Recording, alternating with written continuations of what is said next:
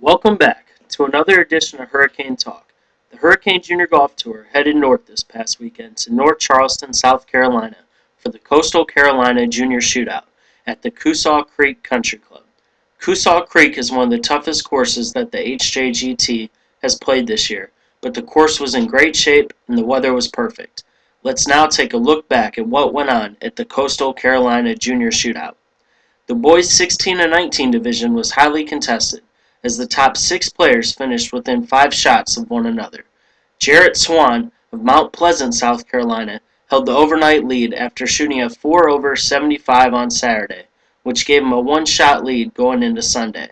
Swan was followed closely by Garris Killingsworth of Johns Island, South Carolina. Swan would feel pressure to hold on to the lead as multiple players shot rounds in the low to mid 70s on Sunday to put them into contention. Zachary Bowe of Bluffton, South Carolina, followed up his opening round 78 with the second round 75, vaulting him up the leaderboard. Bowe would fall short, however, in his comeback attempt and finish second to Swan. Swan shot a second round 76 to finish with a two round total of 151. Bowe finished with a two round total of 153. Swan would lead the field with 25 pars for the weekend, as well as the 72 0.2% of pars or better. Bowe had an eagle and finished second with six birdies for the weekend. Bruce Michaels of Pawleys Island, South Carolina, and Grant Wagner of North Charleston, South Carolina, both finished in a tie for third with a two-round total of 154. Michaels had a 61.1% of pars or better, which was fourth best in the division. The division also featured a hole-in-one by Preston Johnson of Charleston, South Carolina.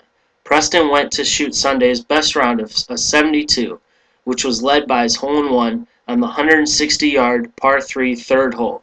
Preston also had a hole in one on the same hole in last year's tournament at Coosaw Creek. In the boys 13 to 15 division, Roland Morris of Hickory, North Carolina, edged out Jeremy Grab of Daniel Island, South Carolina for first place. Morris followed up his opening round 77 with the second round 81 to finish with a two round total of 158. Grab shot opening round 81 and a second round 78 to finish with a two round total of 159, falling just a stroke short of the championship. Morris used three birdies and 18 pars to help him grab the victory. Grab led the group with 19 total pars for the weekend, as well as a 4.50 par 4 average. Bryson Nimmer of Bluffton, South Carolina, finished in third place with a two round total of 162. Nimmer had 17 pars for the weekend and tied for the lead with a 4.50 par 4 average. The boys 10 to 12 division featured a battle between two brothers as Alec Weary and Drew Weary of Bluffton, South Carolina, battled for the first place trophy. Alec would take home the trophy as he used 5 birdies and 19 pars to help him achieve a two round total of 152, which included a 2 under 34 on Sunday's back nine. Drew would go on to take second place for the group. Drew finished first with 3.38 par 3 average. Remember, if you want to check out pictures from this weekend's event or any of our past events, visit us on our Facebook fan page. Don't forget to check out the Nike Fall Challenge leaderboard on www.hjgt.org. There are only six weeks left, and the race for the lead is closer than ever. The winner of each division will receive four free dozen Nike One Tour D golf balls. All right, we're here with the boys 16 to 19 champion Jared Swan from Mount Pleasant, South Carolina, and the boys 13 to 15 champion uh, Roland Morris of Hickory, North Carolina. All right, guys. So you both held the uh, the lead in your respective age divisions going, you know, overnight. What were your thoughts going into today? Um, Jarrett, you first. I mean, coming into today, I just thought, you know, if I post a good even par round, you know, I had a one-shot lead going into, had one person one shot back. I had, you know, six guys three back. If I shoot even par, I win. That yeah. simple. And uh, Roland, what were your thoughts uh, going into today? Just to uh, get off to a good start, make a few pars early, and uh, if I was patient enough, very easy to come. And, see if I can post a good number.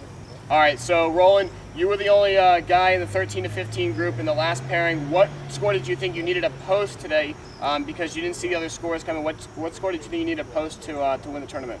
I mean, it was tough. It not being close to the guys in my age group. I had to uh, kind of see what the conditions were like and uh, adjust what I needed to, what I thought to shoot to win. But uh, it was tough out there, so I thought if I could just play how I did yesterday, it would get the job done. All right, and uh, and Jared, you know, you and Garrett, you guys were uh, really close um, on that front nine. What did you think you needed to do on that back nine? Uh, I know you were three over at that at the turn. What did you think you needed to do on the back nine to, uh, to get that victory? I mean, I knew I was three over, you know, one shoot even, but you know, I continued. I had to stay patient, and I knew that if I stayed patient, the course playing a lot tougher than I previously thought it would. You know, just stay patient. Don't shoot too many pins. Pick your spots. Try and make your birdies, but don't make any big numbers. And you know, just work my way through. All right, now you've heard it here with our boys 16 to 19 champion Jared Swan of Mount Pleasant, South Carolina, and our boys 13 to 15 champion Roland Morris of Hickory, North Carolina. Don't forget to sign up for the Furman University Junior Shootout at the Furman University Golf Club in Greenville, South Carolina, November 13th through the 14th. And we also have the Central Florida Junior Classic at Hunters Creek Golf Club in Orlando, Florida on November 13th and 14th. The registration deadline for both of these events is Wednesday, November 3rd.